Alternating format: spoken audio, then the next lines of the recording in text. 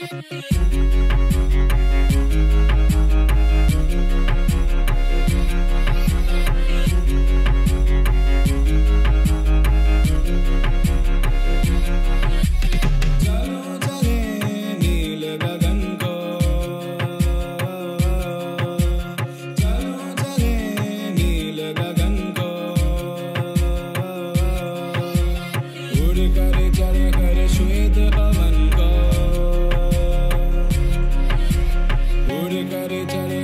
देखे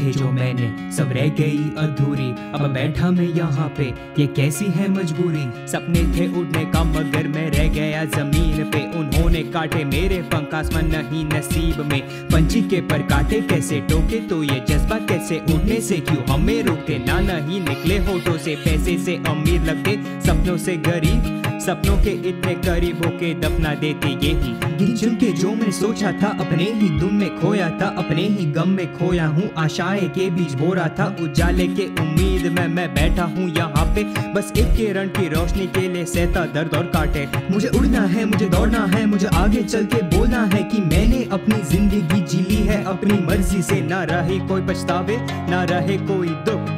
बस इन तारों को छू के रहूँ आज़ाद और मुक्त।